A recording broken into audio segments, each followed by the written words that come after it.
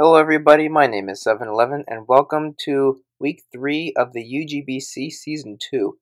First week we beat Damien 5-0, second week we lost to Rick uh, 0-5, and now we are battling Rickz.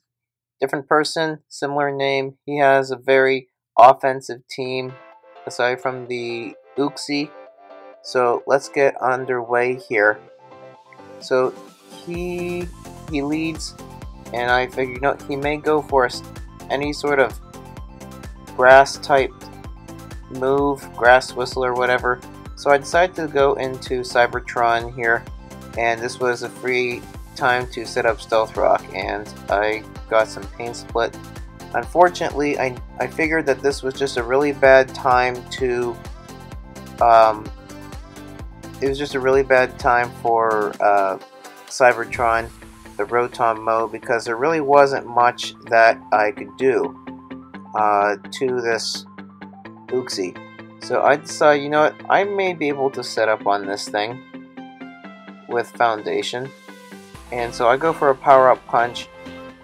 Maybe I can set some setup and sweep. But then there's the Thunder Wave. I was like, well, there goes that plan.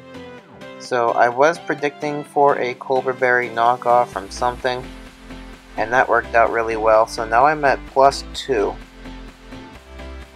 And so in comes this Electivire. And now Power Punch is doing quite a, a good bit. And so I decided to switch there into Vice Grip, uh, predicting the Earthquake, and I was correct there. Um, I did not have Protect and I had to take an ice punch and I did live. I figured, well, I could take out this Electivire, but it, in the long run, it would be better off if I got up my Stealth Rock. He goes for the Wild Charge, and I, I could not do, I, I couldn't really preserve Volcanion very well. He could take me out with another Wild Charge or whatever, so I just sacked it.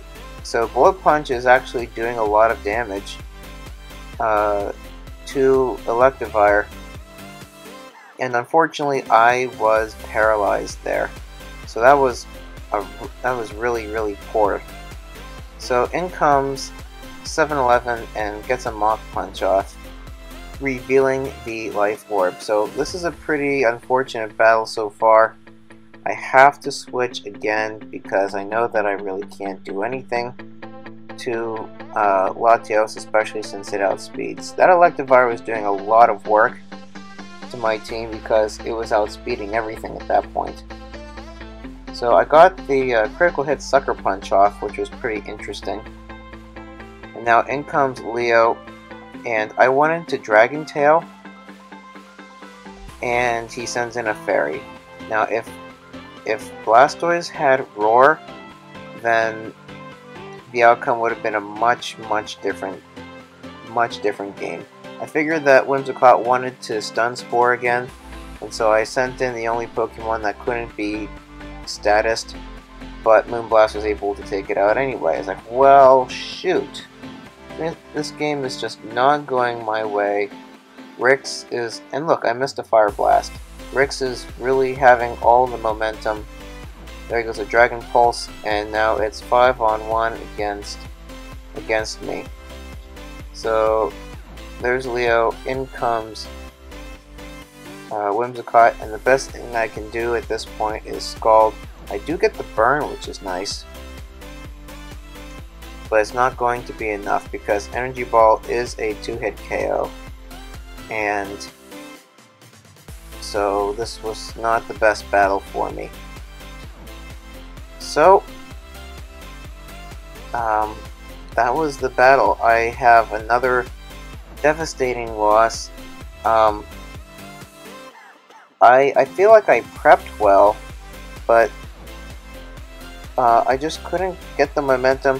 Uh, I didn't predict the Thunder Wave on Uxie, so that was pretty annoying. Um, but other than that, I just didn't play very well.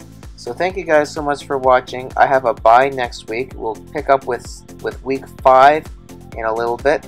And I will see you guys later. Peace.